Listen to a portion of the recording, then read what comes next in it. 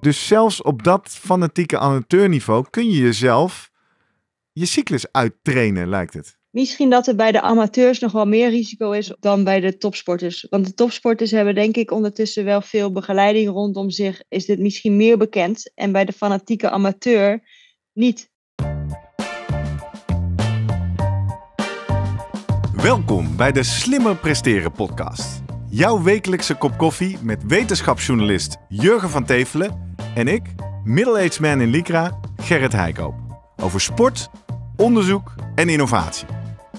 Voor mensen die hun grenzen willen verleggen, maar daarbij de grens tussen onzin en zinvol niet uit het oog willen verliezen.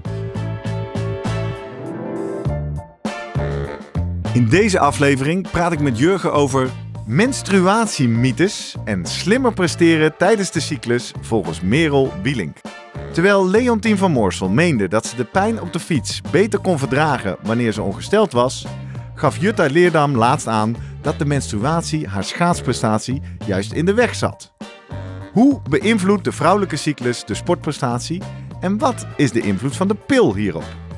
En waarom kan overtraining de menstruatiecyclus juist in de war schoppen? We vragen het aan onze special guest die in Nederland onderzoek doet, sportarts in opleiding Merel Bielink. Voordat we beginnen, nog even drie dingen om aan te denken als jij zelf ook slimmer wilt presteren. Nummer 1. Druk nu gelijk even op abonneren, zodat je altijd direct in de gaten hebt wanneer er een nieuwe aflevering online komt. Nummer 2. Weet dat je Jurgen en mij ook kunt boeken voor jouw volgende bijeenkomst als spreker of presentator. Neem gerust eens contact met ons op via de contactgegevens hieronder. En 3. Deze podcast wordt geproduceerd en gesponsord door Live Online Events.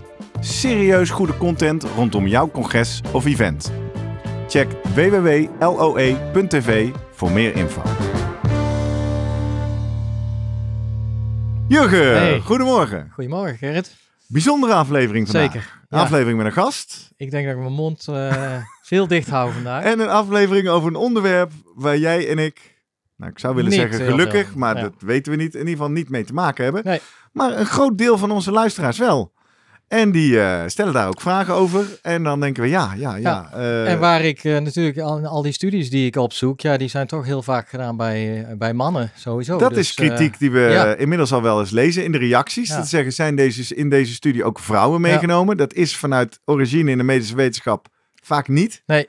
Maar er komt gelukkig verandering Ja. in. Door een eh, jonge, ambitieuze sportarts in opleiding uit eh, de omgeving van Eindhoven. nou, leuk. Ze is bij ons. Merel Wielink. Merel, goedemorgen. Goedemorgen Merel. Goedemorgen. Live vanuit Eindhoven. Veldhoven moeten we zeggen. Maxima ziekenhuis daar. Daar eh, ben je bijna klaar hè? Eh, en Bijna je- klaar met mijn opleiding inderdaad. De laatste twee maanden. En eh, daarna mag ik me echt sportarts noemen. Precies. En je bent al begonnen als sportarts bij een prof wielerteam. Bij de dames toch? Van Valkenburg Parkhotel. Parkhotel Valkenburg moet ik zeggen. Ja, precies. Daar ben ik afgelopen jaren betrokken als teamarts. Ja. Dus ehm, ja, daar eh, heb ik al de rol als eh, sportarts eigenlijk. Superleuk. Dus je staat dat is ook hartstikke dicht, leuk. Ja. dicht bij het profvuur.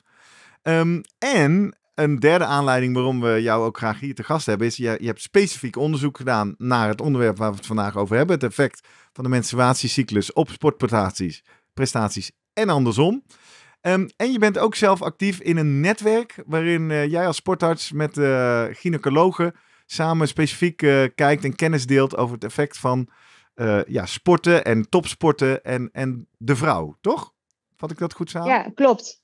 Nee, dat vat je goed samen. Eigenlijk is het wel grappig, want een paar jaar geleden was ik met een gynaecoloog hier in gesprek over ja, sport en eh, vrouwen en welke eh, problemen lopen we tegenaan.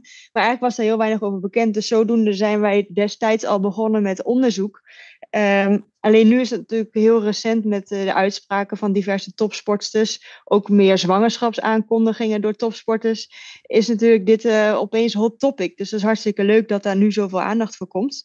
Eh, maar ja, het is een stukje waar wij een paar jaar geleden al in zijn Ja. gedoken, inderdaad. Waarom heeft het zo lang geduurd, eh, Merel? Waarom was die Ja, aandacht idee. er niet? Of, eh, vraag je aan de verkeerde natuurlijk. Want Nee, Merel doet er wat aan. Ja, precies. Maar wat denk jij zelf? Nu Nou, jij zelf onderzoek doet, en misschien kom je dan erachter een beetje van eh, waarom het, het, eh, Uitdagend is. uitdagend is. Ja.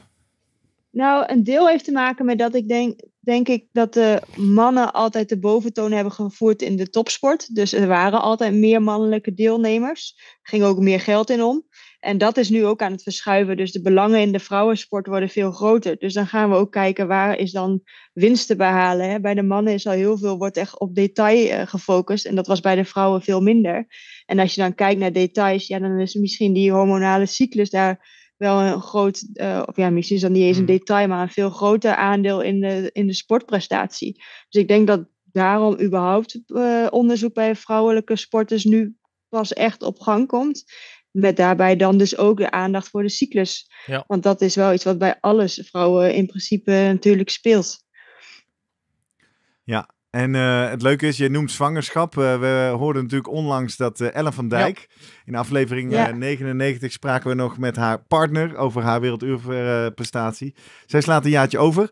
We gaan het later dit seizoen nog specifiek hebben... over sporten en de zwangerschap... met gynaecoloog Koen Deurlo. En misschien aan het einde van deze aflevering nog een tipje... en anders maken we er zeker ook een specifieke aflevering over... over wat heeft de overgang voor effect op sporten. Kortom, wij als eh Slimmer Presteren podcast... Nou, sommigen zullen hun ogen rollen en zeggen... in het zevende seizoen eh, krijgen ook meer oog voor eh, specifieke vragen en uitdagingen voor vrouwen die sporten.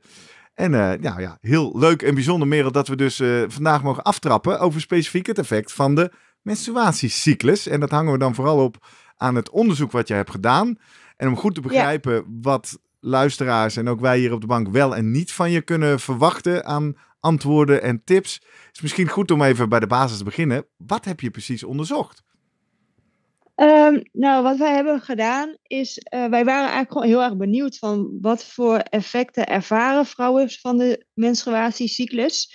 Eh, of van hormonen die ze gebruiken. Bijvoorbeeld een groot deel van de vrouwen gebruikt hormonale anticonceptie, zoals bijvoorbeeld de pil, maar kan ook in de vorm van een spiraal. En die hormonen kunnen mogelijk ook wel invloed hebben op presteren of op andere klachten. En eigenlijk dachten we, we moeten beginnen met vragen, ja, gebruiken ze hormonen of niet? Of hebben ze een normale cyclus? Want dat onderscheid is wel belangrijk om ehm, te weten van wat ben je nou eigenlijk aan het analyseren. Mhm. Analyseer je de eigen cyclus of hormonen die je toedient?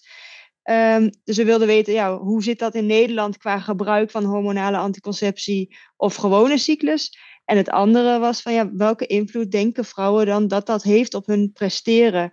En ehm, wat daarbij belangrijk is, is dat wij dus dat met een vragenlijst hebben gedaan. Dus we hebben ze gevraagd eh, om daar eh, ja, online antwoorden op te geven. Maar we hebben dat niet gecontroleerd met een, een onderzoek, bijvoorbeeld een inspanningstest, waarbij je dat echt gaat controleren. Dat is echt ontzettend moeilijk om zo'n soort onderzoek op te zetten. Want dan zou je bij een vrouw, als je wil weten in de cyclus hoe het prestatieniveau verschilt, een aantal keer een fietstest moeten doen. Mhm. Uh, maar als je elke week een fietstest gaat doen, dan op een gegeven moment snap je ook beter wat er van je verwacht wordt. Dus Krijg dat weer is een best lastig van de test. om dat te onderzoeken. Ja. Ja, ja. Dus jij, jij liet het de mensen zelf, eh, je vroeg ernaar eigenlijk van heb je het gevoel beter of, Ja. of minder te presteren tijdens eh, de, de menstruatie zelf. Eh, hoeveel mensen of eh, vrouwen heb je benaderd? Hoeveel deden er mee? Ja, echt. We, nou, we hebben het online eh, gezet en eh, dat werd veel gedeeld. Ook omdat opeens vrouwelijke topsporters dachten: hé, hey, maar dit is iets nieuws en wel belangrijk. Dus Mhm. we kregen echt enorm veel respons. Er zijn 1700 vragenlijsten ruim ingevuld, eh, waarvan uiteindelijk een aantal waren niet volledig of waren dingen in die niet, eh, die we, waar we niks mee konden. Maar uiteindelijk hebben we er ruim 1300 gebruikt in de analyse. Dus dat is echt een groot aantal. En dat zijn net vrouwen die dan vertellen eigenlijk over hoe zij hun cyclus ervaren of wat voor klachten zij ervaren. En ehm, we maakten ook nog onderscheid in sportniveau. Dus ze konden ook nog zelf aangeven: ben ik een eh, recreatieve atleet eh, of doe ik competities of ben ik een topsporter en ben ik professioneel eh, op professioneel niveau bezig. En dan even, ik vond het een leuke in de titel, omdat hij zo lekker als, eh allitereert. Maar eh menstruatiemythes, daar bedoel ik eigenlijk mee, voordat we gaan kijken wat jij in je onderzoek vond. Wat, wordt er, wat hoor je veelal op de sportvelden, sportscholen, gymzalen, rondom wat het effect van de menstruatiecyclus zou zijn? Had jij, had jij zelf hypotheses of, of zijn er bekende uitspraken die je vaak hoort? Nou, die zijn dus heel wisselend. Je noemde het voorbeeld van Leontien van Moorsel al. Die heeft natuurlijk gezegd dat ze juist heel goed was tijdens menstruatie. Meestal hoor je het omgekeerde, dat vrouwen er meer last van hebben en minder presteren. Ehm, er zijn ook wel sporten waarin wordt gedacht als je niet menstrueert, dus dat je eigenlijk helemaal geen cyclus meer hebt, dat dat een top, uh, toppunt is van fitheid. Mhm. Ehm, dus zo gaan er eigenlijk heel veel verschillende gedachten er rond. hè. En ik denk ook dat heel veel vrouwen, bij heel veel vrouwen dat wisselend is. Dus dat dat voor iedereen misschien ook wel net iets anders geldt. Ja. Je bedoelt ook, het kan per menstruatie verschillen? Dat het, eh, Ah, misschien per vrouw. ja. Dat de ene Ja, dat, misschien meer last heeft ja. van de menstruatie dan Ja. een ander. En Ja. daarmee ook anders presteert. Wat kwam er uit eh, jouw onderzoek eigenlijk eh, qua ja, percentages? Nou, uiteindelijk ehm, was dat wel best wel redelijk overlappend met als je de literatuur erbij zoekt. Ehm, we hebben dus eerst eigenlijk die twee groepen gemaakt. Hè. Welk deel heeft, heeft een normale menstruatiecyclus? Want dan kan je echt iets zeggen over je eigen hormonen. Ja. Dat was ongeveer de helft. Dus de helft van de vrouwelijke atleten gebruikt een hormonale anticonceptiemiddel. Dan kan je eigenlijk niks meer zeggen over jouw eigen cyclus. En de andere helft heeft een normale cyclus. En ehm, dan zegt het merendeel zegt dat tijdens de hele cyclus eigenlijk geen verschil is in presteren. Of dat dat wel wat fluctueert. En dan is het bij ehm, tijdens de menstruatie zegt het merendeel slechter te presteren. Of gelijk. eh, maar niet beter in ieder geval. En dan, het is belangrijk om te weten dat in die cyclus veranderen je hormonen. Dus je hebt eigenlijk twee hormonen waar het om gaat. Progesteron en in de oestrogeen. Slimme Verseren podcast eh, zeg ik ook vaak, we gaan even naar de basis. We gaan Ja. even onder de motorkap. Eh, deels uit interesse en misschien voor sommige luisteraars ook interessant. Ik, Wil je ons even meenemen naar die basis? Wat gebeurt er eigenlijk ja, in zo'n eh, cyclus? en dan vooral de normale cyclus praat jij over. Ja. Eh, is dat... eh, Ja. ja, dan gaan we zo naar die ja. andere kant van het spectrum, als er dus eh, anticonceptie Ja. in het spel is. Beschrijf die eh, volgens de fysiologieboeken, zullen we maar zeggen. Of de, nou ja, Ja. de medische Ja. boeken. Nou, de normale cyclus zou- duurt normaal 25 tot 35 dagen. Ehm, als we dan beginnen bij de menstruatie, dan heb je dan dat je dus bloedverlies hebt. En daar zijn je oestrogenen en je progesteron beide heel laag. En ehm, op, daarna, dan eh, heeft natuurlijk te maken met je lichaam klaarmaken voor een zwangerschap. Dan gaan de hormonen stijgen. En dan focus ik met name op progesteron en oestrogeen, omdat dat de twee belangrijkste hormonen zijn. En daar weten we ook het meeste van wat dat met eh, sport doet. Ehm, dan krijg je een eerste fase, dat noemen we de folliculaire fase. Dat is eigenlijk de eerste helft van je cyclus, waarin met name oestrogeen omhoog gaat. Progesteron blijft daar laag. Eerste helft, Halverwege. zeg je? Dus dan hebben we het over de eerste twee weken, bij wijze van spreken. Ja, Ja. precies. Dus je hebt menstruatie, dan die eerste fase met een hoog oestrogeen. En dan zitten we op de helft. Daar krijg je de ovulatie, dus dat is de ijsprong eigenlijk. Mhm. Eh, en na die ijsprong dan gaat je progesteron omhoog. Dus de tweede deel van je cyclus kan je zeggen dat is de luteale fase, waarbij het progesteron eh, eigenlijk het meest hoge hormoon is. Ja. Op het moment dat je dan niet zwanger bent, dan zullen beide hormonen weer dalen, dus het oestrogeen en het progesteron. En dan gaan ze weer omlaag, waarna je weer eh, de bloeding krijgt, dus je menstruatie. En dan begint En het dan eigenlijk weer opnieuw. Rond. Ja. Ja. Hey, en jij zegt, we weten vrij goed wat oestrogeen en progesteron doen op spieren. Nou, we, daar hoor ik niet bij, want ik heb geen idee. We- we- we- Wat is daar algemeen over bekend? Nou, we weten daar zeker nog niet alles van, maar als je het in de literatuur zoekt, dan is wel bekend dat oestrogeen een, eigenlijk een eh, spieropbouwend hormoon is. Een anabool hormoon, zoals we dat dan noemen. Eh, en progesteron juist de tegenovergestelde effecten eigenlijk heeft. Dus eh, ja, dat is wat we weten. Er zijn ook nog wel heel veel ehm, kleinere dingen die die hormonen doen, maar daar zijn de onderzoeken echt nog niet sluitend over. Dus dat, dat is allemaal nog heel discutabel. Maar eh, het effect op spieropbouw en anabool effect, dat is wel bekend dat oestrogeen daar een positieve bijdrage aan levert. Dus En- als ik daarmee dan luister naar wat je net zegt over die cyclus, zeg je eigenlijk in de eerste helft is het oestrogeen, het spieropbouwende hormoon, eh, het meest overheersend of veel aanwezig. En in het tweede deel van de cyclus dat juist remmende progesteron. Ja, exact. En maar En- ik, eh, ik eh, heb natuurlijk nog een achtergrond in, eh, in, in bloedvaten en zo. Hè? Dat, ja, eh, ja, ja, ja. Oestrogeen is natuurlijk ook een hele goede, gunstige eh, stof voor in ieder geval doorbloeding, bloedvaten, eh, functie van bloedvaten, et cetera.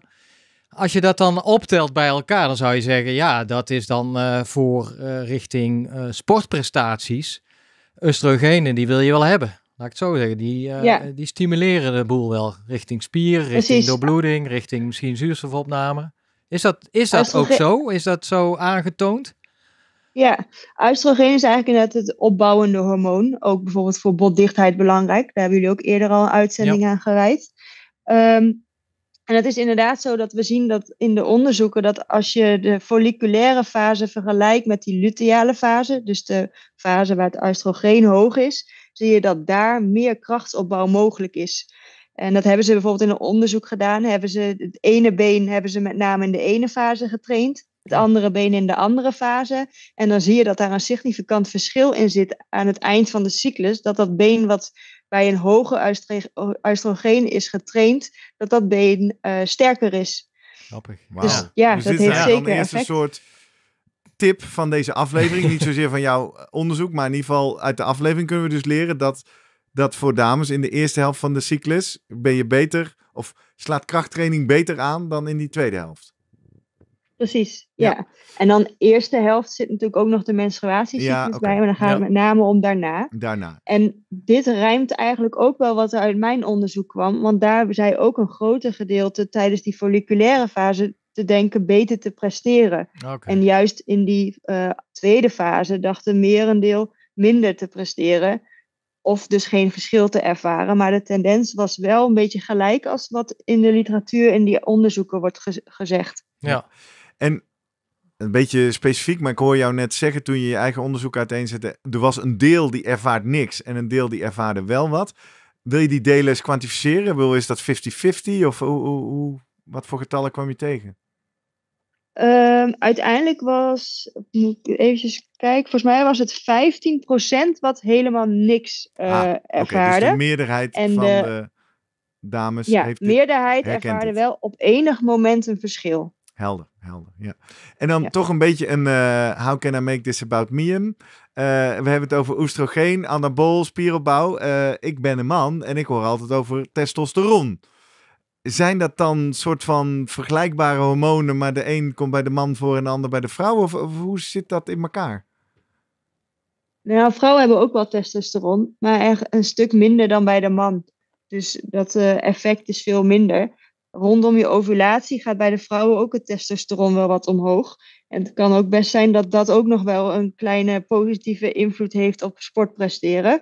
Ehm, maar dat is echt maar een, klein beetje vergeleken met de mannelijke hoeveelheid testosteron. Ja. Dus Nee, precies. maar ik zit is meer te wel denken, omdat verschillend. we horen eh, rondom doping ook, dat er dan extra testosteron Ja, wordt oh ja. toegediend. En als Ja. dat oestrogeen ook zo'n lekkere spieropbouwer door bloeder zijn- is, denk ik, gaan vrouwen dan oestrogeen toedienen als doping of zo. Allemaal eh, ja, anabole effecten. Maar ja, Ja. testosteron heeft wel veel sterkere Ah, eh, anabole Maar dan effecten. krijg je dan ook een baard van. Maar eh, elk voordeel heeft zijn nadeel, volgens mij. Want ehm, er was laatst in het nieuws al die, eh die voetballer eh, dames die geblesseerd raken aan hun eh, kruisbanden. Ehm, hoe koppel je dat aan oestrogeen ook? Is dat al... Ja, daar is de literatuur heel wisselend over. Maar ehm, als je kijkt naar nog een effect van oestrogeen, is dat je ook wat lakser wordt in je banden.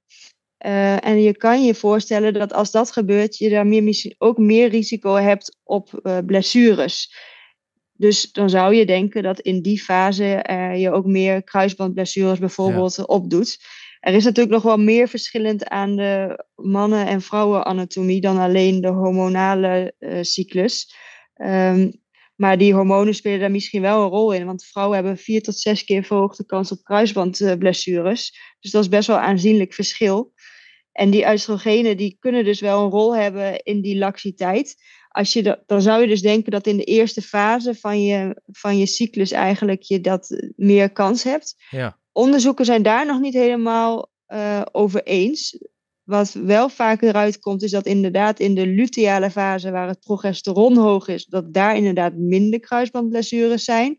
Maar wanneer precies die kruisbandblessures opdoen, ja, dat wisselt een beetje. Want nu hoor je ook heel vaak dat het tijdens de menstruatie is. En dan zijn eigenlijk dus juist je progesteron en oestrogeen heel laag. Ja. Dus er zitten nog wat tegenstrijdigheden in.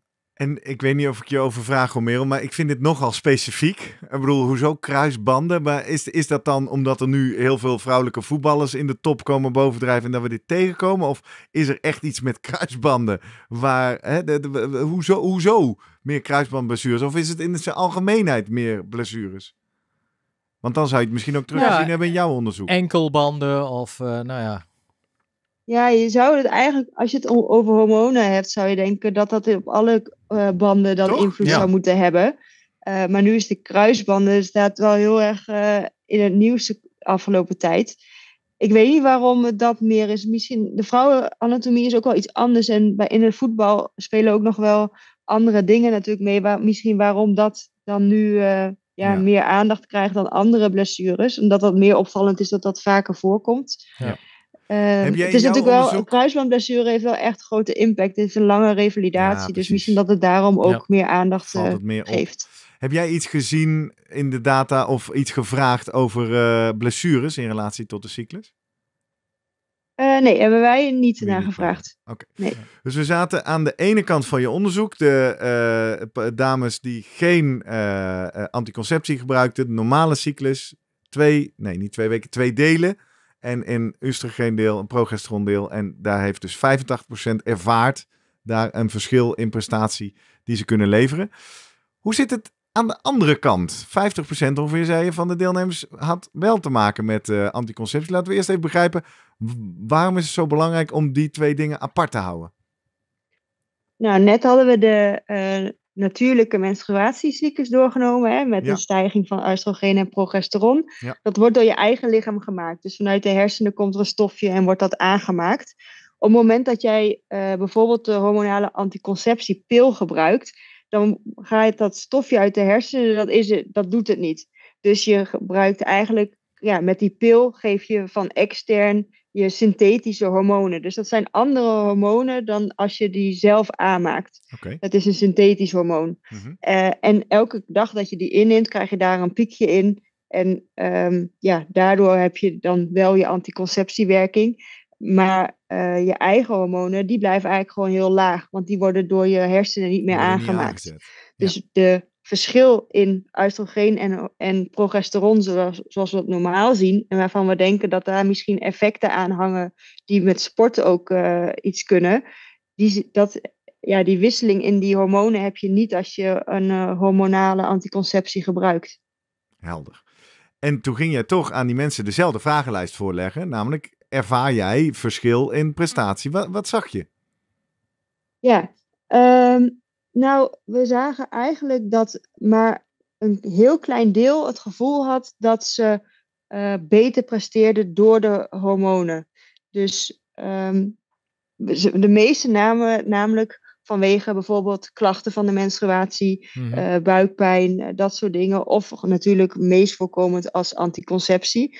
Um, en we vroegen van, ja, heb je ook enig een idee dat jouw presteren vooruit gaat met deze hormonen. Maar dat was eigenlijk maar 5% wat dacht er beter door te presteren.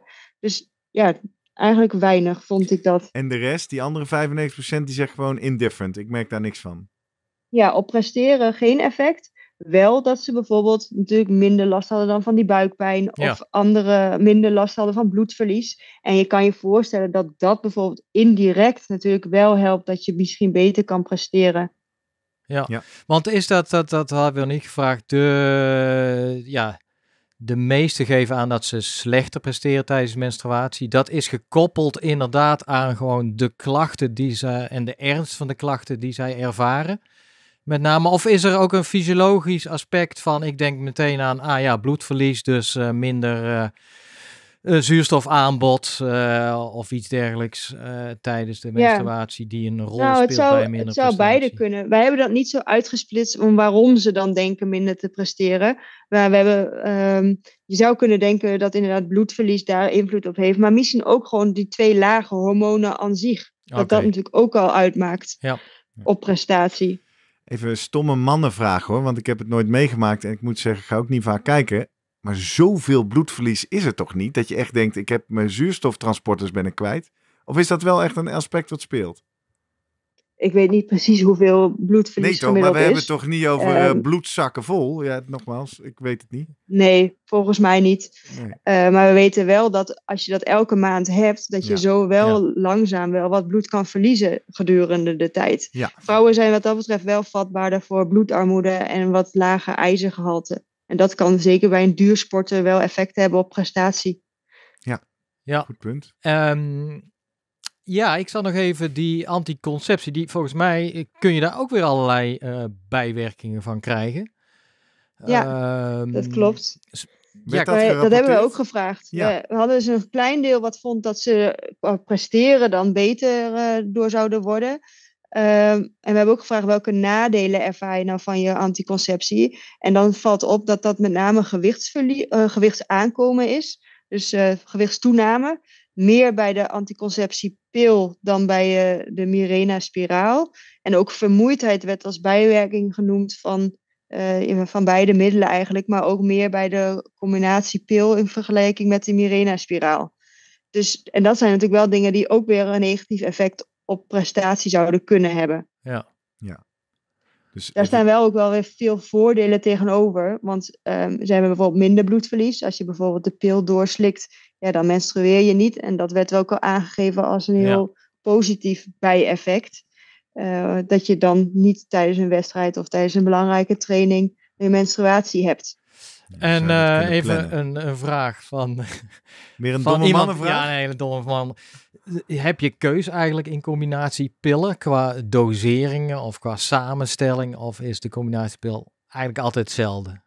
Lees, kan je daar een beetje Ja, mee spelen richting ook misschien bijeffecten of... eh, Er zijn wel verschillende eh, pillen en spiralen op de markt. Dus daar kan je wel wat in variëren. Ik moet eerlijk zeggen, ik schrijf dat nooit voor eigenlijk. Dat gaat vaker via huisarts of gynaecoloog. Dus die zijn daar wel, de, met name de gynaecologen zijn op dit gebied natuurlijk de experts. Maar er zijn verschillende opties. Dus als je merkt inderdaad dat je ergens last van hebt, dan zou je dat altijd eens kunnen bespreken met een gynaecoloog of er nog andere opties zijn die misschien die klachten wat minder eh, maken. Ik was nog even benieuwd, hè, want je, we hebben nu, je hebt drie groepen uiteindelijk gedefinieerd in jouw onderzoek. Of er verschillen zijn eigenlijk. Ah, in, ja, dat wilde eh, ik ook net vragen. Want je zei recreatief, amateurs en, en topsporters. Of je had ook topsporters. Zie je nou in een van die groepen, en natuurlijk misschien met name in die topsporters, opvallende resultaten? Ehm, nee, de, dus eigenlijk wa- was het meeste kwam wel overeen. Je ziet wel in de topsport wordt er iets vaker hormonale anticonceptie gebruikt dan in de andere groep. Ehm, of dat misschien reden heeft dat ze dan daarmee eh, ook makkelijker hun cyclus kunnen timen bijvoorbeeld. Dat zou kunnen, want dat hebben we wel gevraagd of ze dat deden. En dan zie je wel dat in de professionele groep dat vaker wordt gedaan dan in de recreatieve groep. Ehm, dus vaker dat professionele atleten proberen rondom een evenement niet eh, ongesteld te zijn en dat met die pil dus wat aan te passen. En het andere wat we vroegen is van ben je vanwege klachten rondom de menstruatiecyclus wel eens ja, niet verschenen op een training? Dat was bij de recreatieve sporters vrij vaak en bij de professionele atleten uiteindelijk niet zo vaak. Goed, daar speelt misschien natuurlijk ook eh, motivatie en dergelijke Ja, een rol. En druk en belang. Maar dat waren eigenlijk de grootste eh, verschillen. Verder waren de verschillen niet, eh, niet heel eh, groot tussen de groepen. Wat was de klassificering, of wat waren de grenzen om als, als topsporter of professionele sporter te, eh, in jullie studie opgenomen te worden? Ja, dat- eigenlijk hadden we dat niet. Daar hadden Oh. we misschien achteraf beter over na kunnen denken. Maar we hebben gewoon gevraagd op welk niveau ze sporten. Ja. En dus ze konden zelf aangeven of ze prof waren of Oh niet. Daarbij kwam nog wel de vraag of ze dat betaald eh, deden en fulltime en internationaal. Ehm, maar we hebben dat verder niet eh, uitgediept. Ik probeerde een echt, ja, wat ze te zelf maken rapporteerden. naar eh, de omgekeerde vraag namelijk. Want daar heb je wel ook naar gekeken of wat over te vertellen. Namelijk dat nu hebben we het vooral over wat is het effect van de cyclus op de sportprestatie. Maar andersom is een onderwerp wat wij ook al kort hebben aangestipt in onze eerdere aflevering toen we het hadden over verschillen tussen mannen en vrouwen. Het effect van sporten op de cyclus. Wat eh, kun je Ja. ons daarover vertellen? Nou, daar zagen we dus wel inderdaad een groot verschil tussen de professionele atleten en de andere groep. Is dat uh, er bij de atleten veel vaker een cyclusstoornissen voorkwam. En in ons onderzoek met name uitblijven van menstruatie. Dus Mhm. dat betekent dat je eh, eigenlijk gewoon geen onges- niet ongesteld wordt, dus ook geen cyclus hebt en ook niet die fluctuaties in die hormonen hebt. En dat vonden wij eh, wel echt opvallend veel. Het was bij onze groep een vierde van de professionele atleten die dat aangaf. En daar schrokken we ook wel een beetje van. Want dat is wel iets wat bij topsport eh, als bijeffect kan komen. Ehm, en wat we vaker zien, met name in de duursporten bijvoorbeeld. En wat er dan vaak aan de hand is, is een soort relatieve energiedeficiëntie in sport, ook wel afgekort RED-S.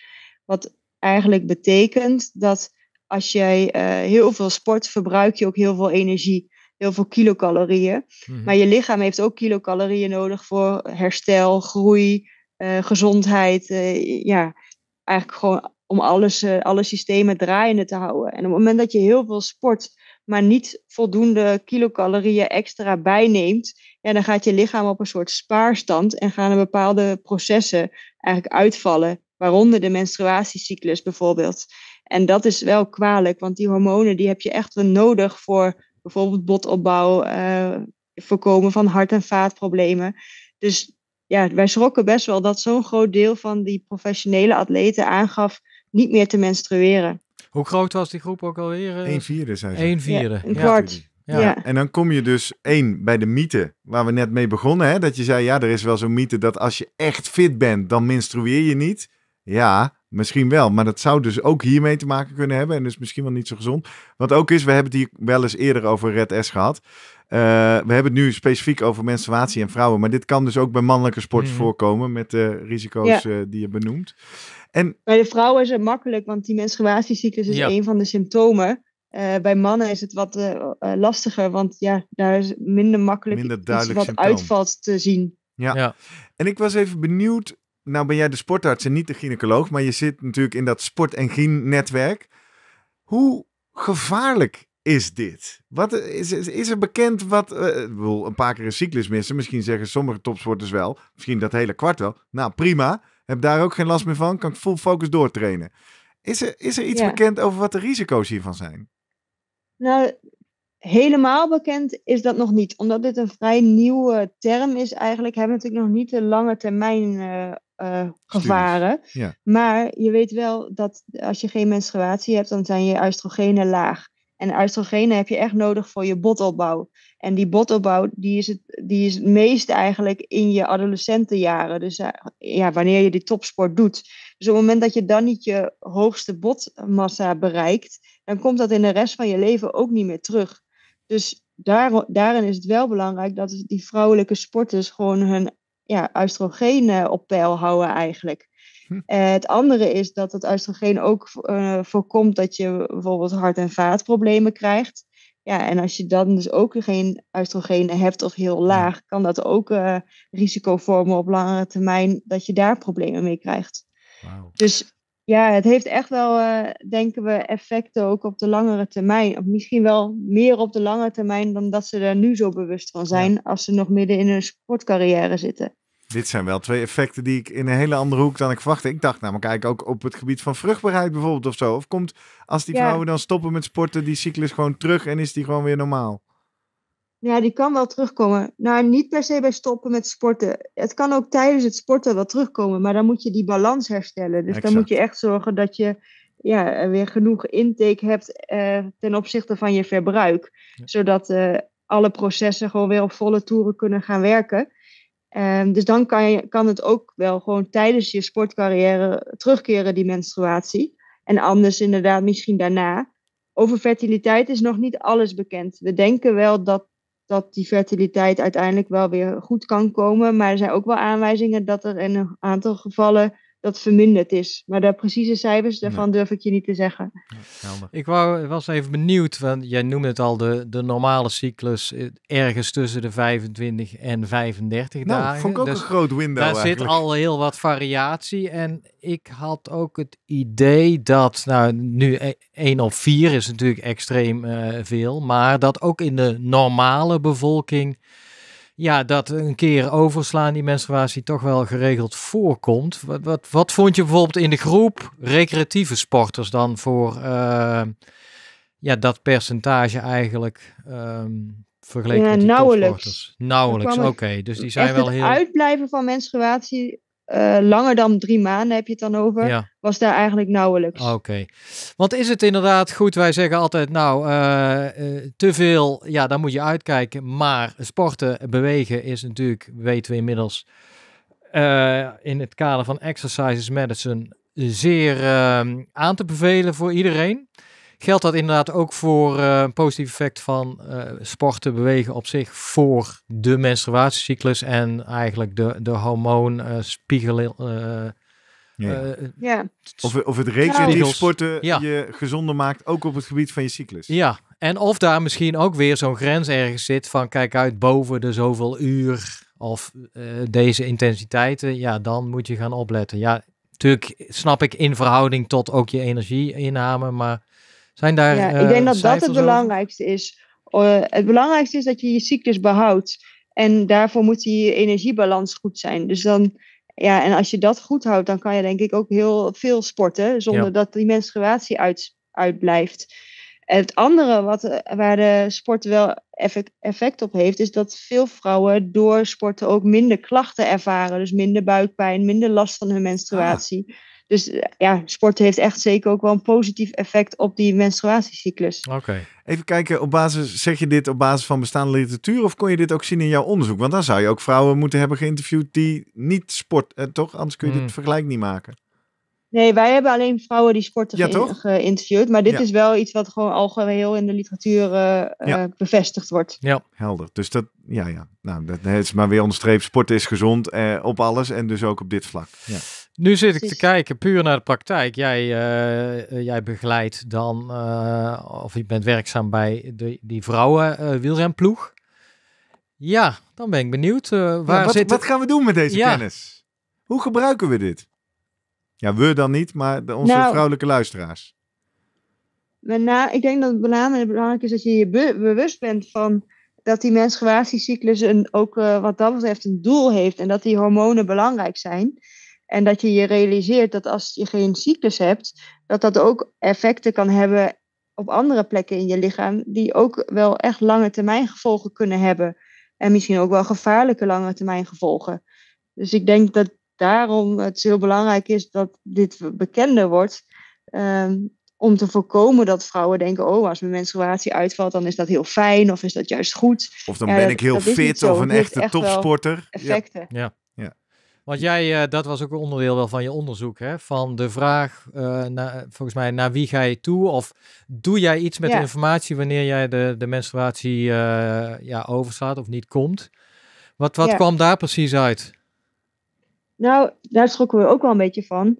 Eh 30% van de vrouwen, we hadden de hypothese gesteld, stel dat je zou niet meer menstrueren en je bent niet zwanger en je weet eigenlijk niet waarom dat is, zou je dit melden. En 30% van de vrouwen zouden dit niet melden of eigenlijk niet zo goed weten of ze het zouden melden. Dat vonden wij best wel Ja. een groot, eh, grote groep, omdat het eigenlijk wel belangrijk is dat er daar iets mee wordt gedaan. Dus een derde zou eh, ja, niet aankloppen bij een coach of een hulpverlener of een zorgverlener. Maakte dat nog uit of het een mannelijke coach was of een vrouwelijke coach? Of heb je dat onderscheid niet Dat was een gemaakt? hypothetische vraag, dus dat kan niet. Nee, dat hebben we niet specifiek gevraagd. In de, mensen konden wel commentaar geven en dan zag je toch wel soms terug van ja, ik bespreek dit niet met mijn mannelijke coach of Ja. zo. Dus ik kan me voorstellen, maar ik weet niet de cijfers, dat dat best ook wel wel invloed kan hebben. Ja, ik begrijp dat ergens wel. Als Ja, ik merk ja. met hoeveel onkunde en onkennis ik dit gesprek zit te voeren. Je, ja, maar je kan Ja, je nee, er niks klopt. bij voorstellen. Nee, ja. Dus het is ook moeilijk om daarover te spreken. Wel super. Ja, Dat je en daar zit natuurlijk brengt. ook wel iets, want als de coaches dit niet kennen of niet weten, die zullen er ook niet over beginnen. En dan blijft het als, misschien als een soort taboe in de lucht hangen. Eh, terwijl dat helemaal niet nodig zou hoeven zijn. Dus wat alle sporters met coaches, zeker met mannelijke coaches, moeten doen, is even deze aflevering van de Slimmer Presteren podcast naar ze doorsturen. En Ja, zeggen: Hier, precies. luister dit maar even. Ja. Dan eh, kun je eens even zien wat hoe belangrijk is. Andere praktische tips, want dat is het toch wat we in de tweede helft eh, wel een beetje naartoe willen. Wat, wat gaan we hier nou doen? Jij zegt bewustzijn is één.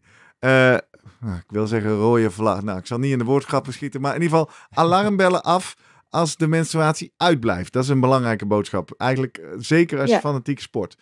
Ehm, ik kreeg Daarbij een- moet je wel misschien nog zeggen dat als je dus hormonen gebruikt, dan kan je daar niks over zeggen. Want dan Oh heb je ook bloedverlies, maar dat is niet je eigen cyclus. En Dus wat dan- moet je dit dan geldt doen alleen als voor je- de vrouwen die geen hormonen gebruiken. Wat moet je dan wel doen als je, stel je gebruikt dus anticonceptie in de vorm van een pil of spiraal en, en je menstruatiecyclus blijft uit, of je menstruatie blijft Ja. uit, moet ik dan zeggen. Wat moet je dan doen? Nou, dan weet je het niet. Nee. Je weet niet of je een cyclus hebt. Aha, Oh. dus dat, Dat maakt maakt het het wel, lastig. eh, ja. Maar ehm, de motivatie dan eh, van een aantal sporters om het, de pil te nemen omdat ze geen menstruatie willen, dat vind jij een, eh, een verkeerde gedachte. Dat zou het uitgangspunt niet moeten zijn. Nou, er is wel eens gezegd, alle vrouwelijke sporters die mogen niet inderdaad hormonale anticonceptie hebben, omdat we willen weten hoe die cyclus is. Hmm. Maar ik vind het best ver gaan Ja. om elke vrouwelijke atleet eh, de anticonceptiepil af te pakken. Ja. Ik denk dat dan nog meer bewust moet zijn van ja, energie-intake en eh, wat eruit gaat. En daar, eh, ja, daar heel kritisch naar Ja. kijken. Dit en andere niet het, symptomen beleid die erbij wat jij- passen. Bij de vrouwelijke wielrenploeg eh, gaat invoeren als sportarts, hoor ik al. Sorry, wat zei je? Dit is niet het beleid wat jij bij eh Parkhotel Valkenburg eh, team gaat invoeren, hoor ik al. Nee, nee. nee duidelijk. Als ze voor de pil kiezen, dan kiezen ze daar waarschijnlijk heel bewust voor. Dus. Ja. Ja, ik eh, kreeg in voorbereiding op deze aflevering nog wel eh, een mooie bijdrage van een eh, vriendin van de show. die wist dat we het hierover gingen hebben. En die tipte mij de Fitter Woman app. Moeten we er weer even bij zeggen. We zijn niet gesponsord. Maar we gaan wel vertellen wat die app, is en wat die doet. Dus eh, ik dacht eerst, maak ze nou een spelfout? Fit Woman? Nee, het is Fit R Woman. Ken je die app, Merel? Nee, ik ken hem niet. Maar er zijn meerdere van dit soort apps. Dus ik ben benieuwd wat deze Ja, doet. nou, ze schrijft: ehm, Ik hou mijn cyclus bij in een app. Inmiddels een andere app. Oh ja, daar gaat het al. Dus er zijn diversere apps. Maar wat mij is gaan opvallen, is dat ik zodra ik op de dag 2 van mijn cyclus zit, dus dag heeft het over, niet vaak, ehm, lijk ik onbegrensd sterk te zijn. En dit houdt dan ongeveer een week aan en dan nemen de prestaties langzaam af. Zodra ik rond mijn ijsprong zit, eh, rond dag 12 tot 14, dan krijg ik het moeilijker. Mijn tempo wil niet omhoog bij interval en ik heb aanzienlijk meer spierpijn.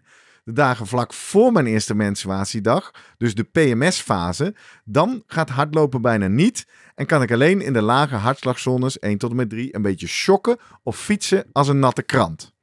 Ik kies er dan vaak voor om echt rustig aan te doen of soms alleen yoga te doen. Ook neem ik dan wel eens een extra rustdag. Wat me ook is opgevallen, dat mijn cyclus soms stagne- stagneert als ik te veel en te hard train. Nou, dit is eigenlijk waar we het net ook met elkaar over gehad hebben. Dan lijkt het erop dat mijn lichaam niet voldoende energie meer heeft om het endometrium op te bouwen. Dat is me nu twee keer een periode gebeurd en dan gingen mijn prestaties achteruit, waardoor ik nog harder ging trainen zonder resultaat. Pas als ik besefte dat ik juist te veel deed en dus rust nam, kwam mijn cyclus weer op gang. Door met die app Fitter Woman te werken, pas ik nu mijn trainingen een beetje op mijn cyclus aan. En kan ik dus gebruik maken van mijn sterke weken en wat milder zijn in de weken dat mijn hormonen daarom vragen. Nou, nogmaals, dit is NS1, dit is een anekdotisch verhaal. Mhm. Maar ik hoor hier eigenlijk in dit ene verhaal alles terug wat je ons vertelt. Zowel die, die twee fases in die cyclus van, van sterk en minder. Maar waar ik van schrok in dit verhaal, dit is geen topsporter. Is wel iemand die fanatiek Nee. stort. Hè? Dit is eh, divisie triathlon. Maar dus zelfs op dat fanatieke amateurniveau kun je jezelf je cyclus uittrainen, lijkt het. Misschien dat er bij de amateurs nog wel meer risico is op, op dan bij de topsporters. Want de topsporters hebben denk ik ondertussen wel veel begeleiding rondom zich. Is dit misschien meer bekend? En bij de fanatieke amateur niet. En die wil net zo hard trainen als de topsporter. Maar hij heeft daar niet de begeleiding en de kennis rondomheen om dit soort dingen misschien eh, te voorkomen. Ja, dat is wel een goede boodschap. Ja. En ook goed dan voor onze doelgroep. Ja, zeker. Ja. Dat, eh, ze- eh, ja, maar dus apps kunnen nuttig zijn. Ja, ik, ik vroeg natuurlijk nog, wat doet die app Ja. dan? Hè? Want een app klinkt als wat doet het? Nou, in feite is het natuurlijk niet meer dan een specifiek logboekje, schrijf ook. Hè? Dus je, je, je logt daar, wanneer ben ik eh, ongesteld en, en, en daardoor weet hij waar ik zit. En die, die Ja. stel je eventueel bij, zodat je in dat window van 25 tot 35 dagen weet waar je zit. En ondertussen geeft die app dan allerlei tips. Op het gebied van Ja. voeding, energieniveau, fysiologie, allerlei soort kennis, Ja. nuggets krijg je daar dan bij.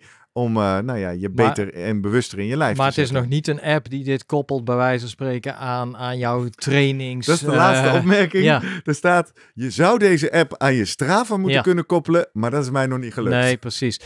Nee, maar eh, de apps die jij kent, zijn die een beetje vergelijkbaar? Of is het al inderdaad dat je het kan koppelen ook aan parameters zoals eh, HRV hebben we bijvoorbeeld over gehad? Of andere subjectieve eh, maten die je soms invult natuurlijk. Hoe voel je je? je, je- die POMS, hè? De, Ja. Ja.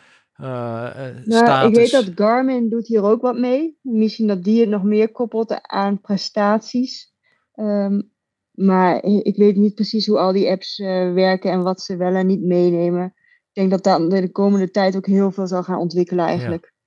Wat is het, eh, want dan vroeg ik me af, er was natuurlijk ook even het nieuws dat bepaalde voetbalclubs, ik denk in Engeland, die hielden dan, die kwamen in het nieuws omdat ze al rekening hielden eigenlijk met de cyclus van hun speelsters in de manier waarop zij trainden. Ja, de menstruatiecoach. Ja, en is dat inderdaad iets... eh, Zeg Merel lachend. Ik wil ja. nu toch even daar meer van weten. Hoe Waarom kijk jij daar tegenaan? Eh, Ja, ik vind dat wel, eh, wel mooi dat dat eh, ingevoerd is. En ehm, ja, de menstruatiecoach klinkt een beetje als een rare term. Maar ik denk eh, de achterliggende gedachte van... Ja, er zit echt wel verschil in hoe je moet trainen... wanneer je meer kans hebt op, blessures. Dat dat best wel goed is om daar per atleet naar te kijken... en ook per atleet dan misschien een trainingsschema aan te passen. Maar is het dan niet, want moet je dan eigenlijk niet gewoon hormonen ook prikken? Want Omdat je al aangeeft van ja, ergens tussen 25 en 35.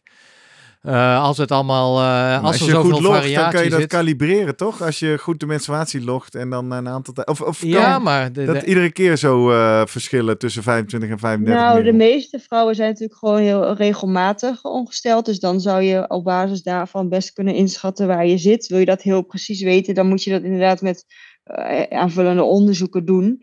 Eh, dat is wel iets wat eh, bij de gynaecoloog natuurlijk soms gebeurt. Maar ik denk dat dat veel te ver voert om dat ja. voor elke training bij elke sporter te doen. Ja. Dus ik denk dat het dan vooral belangrijk is om te loggen, inderdaad. Maar zou het dan ook niet gewoon al kunnen met bestaande apps zoals HRV? eh, Dat je die- het daar erbij schrijft. Ja, Ja, ik dat kan me voorstellen dat het uiteindelijk uit zich misschien in, in, in slechter slapen, in, in minder zin om te trainen, et cetera. Nou, dan zou je dit er misschien bij kunnen nemen. Ja. Om gewoon een geheel plaatje te krijgen. Ik denk dat Ja. het weer iets is voor, zeker voor coaches en coaches op afstand. Ja. Lijkt me dit interessante data om mee naar te gaan kijken, toch? Als je kijkt naar slaap en gewicht en zin om te Super interessant. Nou, dat vind ik nog wel een leuke, want jij, jij zit hier deels als onderzoeker, want je hebt een onderzoek gedaan. Maar ja, je zit hier ook als sportarts van een professioneel wieler- wielerteam. En daar ben je net begonnen, weet ik ook allemaal wel. Maar als jij mag dromen, hoe zou jij deze kennis concreet willen gaan toepassen in jouw begeleiding van deze sporters? Nou, uiteindelijk zou ik willen dat eh, iedereen gewoon een menstruatiecyclus heeft. eh, en dat de energiebalans daarmee dus ook gewoon goed, eh, goed is. Ja. Ehm, maar dat is best heel lastig in de praktijk. Precies. Nee, dat realiseer ik me. En daarom zeg ik ook een beetje dromen en fantaseren. Maar dus dat is één. Monitoren heeft iedereen gewoon een normale cyclus. Daarmee als indicator. We hebben in ieder geval met, qua energiebalans zitten we goed. Maar wat we net horen uit Engeland bijvoorbeeld. Zou je, zou je ook dan met de inspanningsfysioloog samen trainingsprogramma's willen gaan afstemmen? Is het zo significant, wil ik maar zeggen. Nou, nou, ik denk dat dat misschien wel eh, zou kunnen. Eh, ik bemoei me verder niet zoveel met hun trainingsschema's. Maar je zou kunnen denken dat je de momenten van krachttraining misschien wat meer kan afstemmen op de cyclus inderdaad. En dat je daar wellicht dan wat meer eh, winst uit kan halen. Ik En zal dan, nog ja, even... dan wil ja. ik nog één, want dit was een drieslag ging maken. Want ik wil nog één menstruatiemythe bij je checken. Er wordt, ik weet niet of dat onder mannen is, maar ik heb wel eens gehoord dat als groepen vrouwen veel met elkaar optrekken, dat de cyclus ook gelijk gaat lopen. Is dat nou waar of is dat een Ja. mythe? Ik heb geen idee. Echt niet? geen Nee? idee. Ja. Oh. Dat lijkt me namelijk in het geval van zo'n voetbalteam best wel handig. Ja. Want dan kun je ook de trainingen aanpassen, anders niet natuurlijk. Ja, precies. Dan kan het hele team hetzelfde doen. Jij herkent dat in ieder geval niet bij de wiel- wielerploeg of je weet dat niet eh, bij de wielerploegen die jij eh, begeleidt. Nee, ik weet niet precies wanneer iedereen Ah, oké. omgesteld is. Ja. En nee, dus ik, ik weet het antwoord hierop niet. Ja. Nee. Ik zal nog even over die energiebalans. Hè. Ehm, in zijn algemeenheid, ja, snap ik dat. Maar is dat ook echt periodeafhankelijk? Lees dat bijvoorbeeld in de eerste twee weken in die folliculaire fase juist meer energie nodig is en een andere fase weer minder? Of is het eigenlijk, nou ja, eh, omdat we natuurlijk, we kennen nu de beelden van eh, de wielrenners die met een weegschaaltje hun eh, eten zitten af te wegen. ook in combinatie met natuurlijk de vermogens die ze die dag getrapt hebben, et cetera. Moet je dat, eh, gaat het, is het zo eh, belangrijk dat je dat per eh, goed timed? Of kun je gewoon zeggen, nee, hou er gewoon rekening mee dat als jij veel sport, dat je ook je inhamen gewoon Ja. goed moet zijn continu. Ik denk dat dat het belangrijkste is. Veel sporten is je intake verhogen. En ik denk dat dat in je menstruatiecyclus niet heel veel verschilt. We weten wel dat als je progesteron hoog is, dus in die tweede fase, je wat makkelijker vocht vasthoudt. Ehm, dus dat je daarom wat aan kan komen in gewicht. Ja. Maar ik denk, je moet vooral eten naar wat je verbruikt. En dat is natuurlijk altijd een dingetje in, eh, in duursporten, hè? het gewicht. Ehm, ja. dat speelt daar dan waarschijnlijk dan ook nog mee. Hè? Dat het eh, ja, toch een risicofactor voor Red S is. Het feit dat men ja, Zeker. eh, du- duursporters niet eh, willen aankomen. Het liefst natuurlijk zo licht mogelijk willen zijn. Komt met name voor in duursporten waar gewicht eh, Ja. een issue is. Of dus sporten zoals turnen of eh, gewichtsklasses Ja. in de judo of het roeien. Waar, eh, daar komt het het meest voor. Ja. Is het niet dat ook eh, dat een bijeffect van de pil is? Eh, Wat? Extra Aankomen. aankomen? Ja, dat, net, dat vertelde Merel. Ja. Oké, Ja. ja. In ieder geval dat dat Klopt. gerapporteerd wordt door jouw eh, respondenten, Oh ja. toch? Dat ze Ja. dat ervaren. Ja, en dat is ook wel, wel bekend als bijwerking, maar dat ervaren ze dus ook daadwerkelijk. Aha. Mooi, toch? Ja. Volgens mij zijn we heel rond. Of eh, hebben we nog Nou een heel ja, stuk gemist, nog eh, Even een Merel? stukje menopauze, dacht ik. Oh van, ja, want dat is natuurlijk, dat wordt ge- gekenmerkt, als ik het altijd goed heb begrepen, door een eh, ja, een mindere afgifte, lees lagere niveaus van oestrogenen. Toch even inleiden. Wij hebben inmiddels een aantal vragen in onze inbox. Post.slimmerpodcast.nl van eh, dames eh, die eh, middle-aged of zelfs wat ouder zijn. Die zeggen, ja, ik heb daarmee te maken. En ik kan eigenlijk nergens goed vinden wat de effecten daarvan zijn. Eh, vandaar dat ik Merel vroeg, kan jij er iets over zeggen? Ze zei, ja, daar heb ik niet echt onderzoek naar gedaan. Maar je bent toch voor ons even de boeken ingedoken, hè, Merel? Wat, wat, Ja, wat heb je gevonden? nou, ik heb even in eerste instantie, wat gebeurt er natuurlijk in de menopauze? Daar gaan eigenlijk die twee hormonen die in je menstruatiecyclus mooi op en neer gaan, gaan omlaag. Eh, en voor je, dat je echt in de menopauze komt, gaat dat er nog een beetje fluctueren, maar uiteindelijk blijven die laag.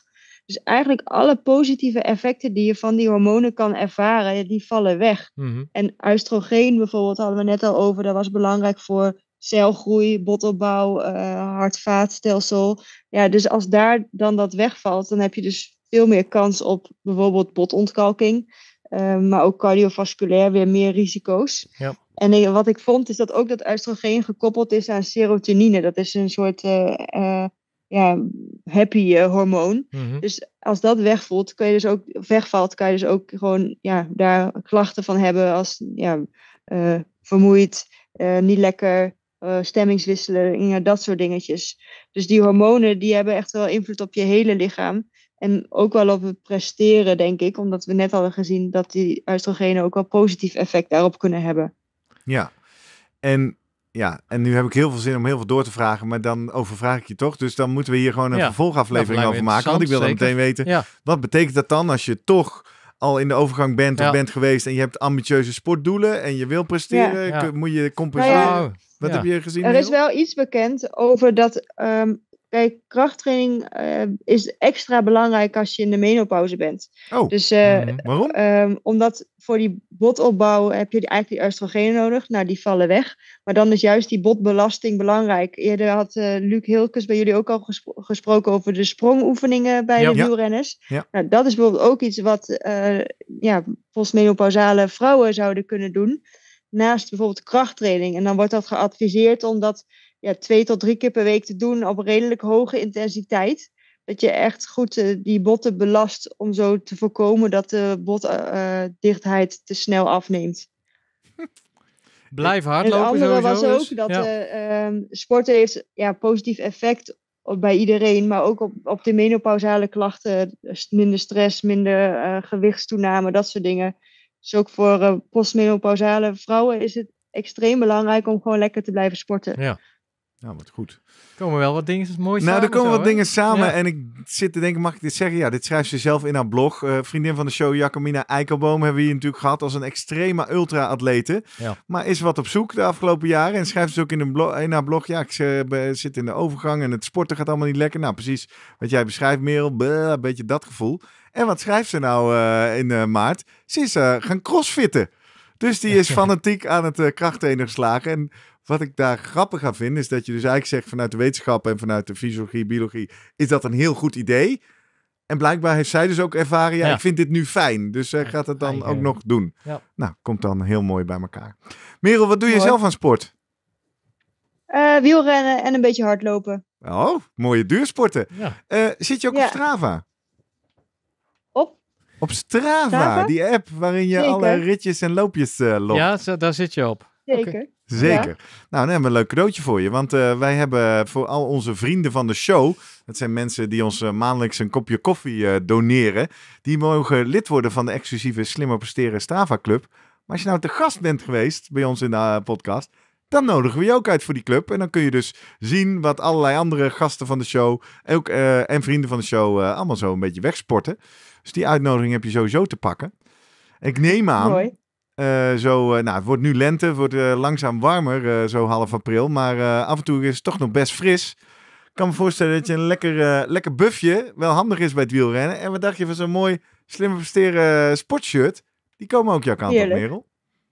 Gewoon in het ziekenhuis aandoen dan, hè? Heb, Bo- je- heb je gewoon Ja, verdiend. precies. Hier boven die doktersjas, ja. Nou, Omdat wij zo dankbaar zijn eh, dat jij je kennis met ons wilde delen. Ik ga zo even aan de luisteraars vertellen hoe je kan reageren op deze aflevering. En ik zeg ook even, blijf even luisteren, want helemaal op het einde van de aflevering nog een slimme tip, hè?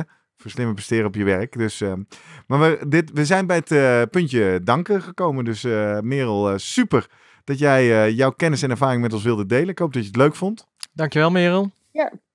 Heel leuk. Graag en gedaan.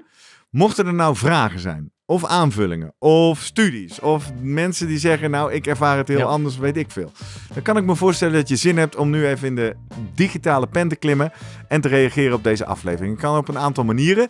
Je vindt ons op social media als de Slimmer Podcast, op Twitter, op Instagram en tegenwoordig ook eh, iedere week op LinkedIn. Dus eh, ga ons daar vooral volgen. Dan vind je daar altijd van iedere aflevering op vrijdagochtend een verse post. Daar kan je hartjes op geven, daar kun je comments op achterlaten. Je kan ons een direct message sturen. En dan, eh, als het een vraag is voor Merel, spelen we die door.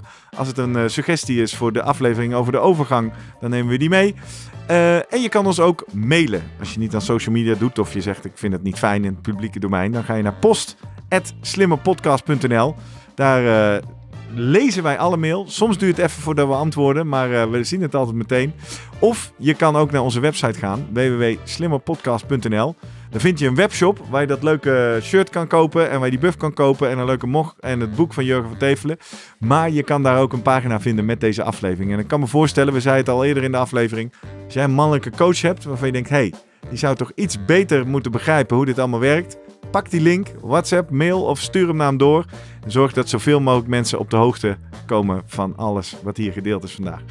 Tot slot, Merel, dat eh, netwerk. Stel, er zijn eh, sportartsen of eh, medische professionals die hier meer over willen weten. Sport en gynaecologie, waar kunnen ze dat vinden? Ja, sportengien.nl. Ja, G-Y-N Ehm. op, op het einde. G-Y-N, Ja. Ja. inderdaad. En is dat netwerk Ehm. voor iedereen of, of wat, wat doen jullie daar? Eh, dat is een netwerk van gynaecologen, gespreid over Nederland. eh, en eh, ik zit daar als sportarts bij. We bespreken casuïstiek met elkaar. We willen ook onderzoeken uitzetten. En ehm, misschien meteen daar een bruggetje naar. Mocht je als eh, sporter eh, luisteren en je vindt jezelf eh, een fanatieke sporter of een topsporter, dan zijn we wel op zoek naar vrouwen die met ons willen praten over menstruatie, zwangerschap en dergelijke. Dus dan zou je mij via dat netwerk mogen mailen. dan breng ik je in contact met de onderzoekers, zodat we hier nog veel verder op kunnen doorgaan uiteindelijk. Super, mooi dat je dat podium pakt. Lekker. Ik, eh, we gaan er een eind aan maken. Ja. Het is, eh, deze aflevering komt uit op 14 april. Dat betekent dat ik jarig ben vandaag. dus ik ga mijn verjaardag vieren. Mooi cadeautje dit. Ja, dat is een heel mooi cadeautje. Ja, dat, eh dankjewel Merel. Dat betekent ook dat ik vannacht nog maar eens even heel goed ga slapen. Want aanstaande zondag is het zover, hè? Ja, Dan gaan we naar succes, Rotterdam. we gaan weer een ja. meet and greet doen met heel veel vrienden van de show. Op het Schouwburgplein gaan we een groepsfoto maken, net als bij de CPC. En eh, we hebben natuurlijk uit al die afleveringen over de marathon geleerd dat ik waarschijnlijk op de nacht van zaterdag op zondag niet zo goed ga slapen. Dus vanavond is cruciaal. Ja, is eigenlijk wel een slechte combi met de verjaardag. Ja, Die gaan we niet vieren, kan ik je vertellen. We gaan om 10 uur netjes onder de wol en maximaal uitslapen morgen. ja, jij neemt een magnesiumpilletje en dan... het Magnesiumpillen, morgen lekker een bakje bicarbonaat. Eh, ja. alles maximaal afvullen. Ja. Gaan we lekker rennen. Als je wil weten hoe het is gegaan in Rotterdam, ga me even volgen op Strava. Gerrit Heiko opzoeken en eh, dan eh, zie je het vanzelf. Merel, dankjewel voor je bijdrage. Dank je. Graag gedaan. Jurgen, tot volgende ja, week. tot volgende week.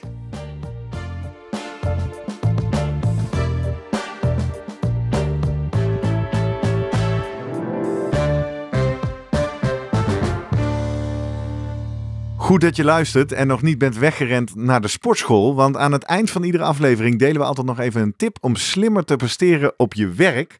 Uiteraard gebaseerd op de wetenschap, inspiratie uit de fysiologie, de psychologie, voedingsleer en nog veel meer. Jurgen, je bent de boeken weer ingedoken. Wat heb je gevonden? Nou ja, voor degenen die dan eh, af en toe de sportschool induiken, misschien na afloop van het werk of tijdens het werk. Ja, steeds meer eh, kantoren hebben ook een sportschool in hun faciliteiten. En wat dan eh, eigenlijk interessant is, eh, mensen zijn vaak minutieus aan het kijken hoeveel kilo dit keer en dit, en weten dat precies. Maar om dat eens even los te laten en gewoon niet te kijken naar hoeveel kilo je aan het tillen of het drukken bent. Want de studie bij, eh, eh, bij handballers liet namelijk zien dat als jij onwetend bent over het gewicht wat jij tilt of drukt, dat het uiteindelijk eh, meer resultaat geeft aan, bij een krachttrainingsprogramma dan dat jij precies weet wat jij wel aan het tillen of drukken bent. Wat een bijzonder effect. Ja, Ik zou de details wel eens willen lezen. Dat kan natuurlijk, want deze tips delen we ook iedere dinsdag op onze LinkedIn-pagina. nou lees het dan. Zoek hem vooral even op.